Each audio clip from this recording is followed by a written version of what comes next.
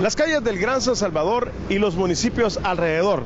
Hacemos la pregunta, ¿a quién le corresponde el mantenimiento de la calle? Observe, uno.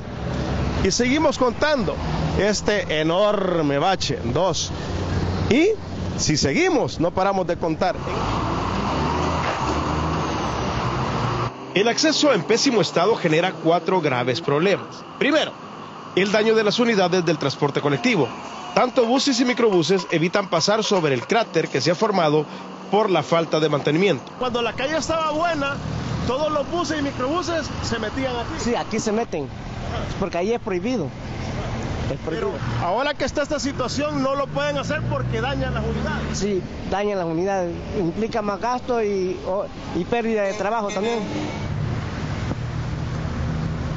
Segundo, el cuello de botella para el paso de vehículos particulares, ya que a un costado de la Panamericana los buses tardan mucho tiempo en subir a los pasajeros y al otro lado es el acceso para ingresar a Santa Elena y el retorno hacia Antiguo Cuscatlán. prohibido la parada ya los buses, pero como la policía no les dice nada, como ven eh, la situación, Es por la calle dañada. por la calle dañada, sí, por eso. ¿Y a quién, a su modo de, de ver, a quién le correspondería solucionar eso?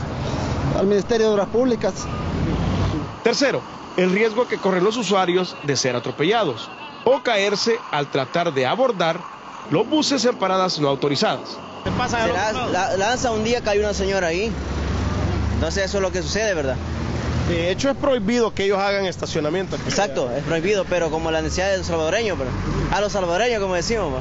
Para, a su modo de, de ver, ¿a quién le compete este problema? Solucionarlo. Por lo menos man- el mantenimiento. por lo menos el ah, Ministerio de Obras Públicas o Fovial, no sé, va, pero tendría que reparar esto, va. Cuarto, no existe nadie en regular el paso del transporte colectivo. Ahí no hay policías para agilizar el paso o gestores de tránsito. Entonces, la mayoría de transportistas incumplen la obligación de hacer uso del acceso de las paradas autorizadas. No sé a quién le compete, va, si como le digo, si es al MOP o, o a la alcaldía, va, pero sí ya tiene, ya, ya, ya está algo larguito. No Y urge, va, y urge, urge, sí. sí. ¿Quién así. paga los platos rotos de todo este problema? Nosotros. Camarógrafo Dagoberto Alfaro. Herbert Aragón Noticias, 4 Visión.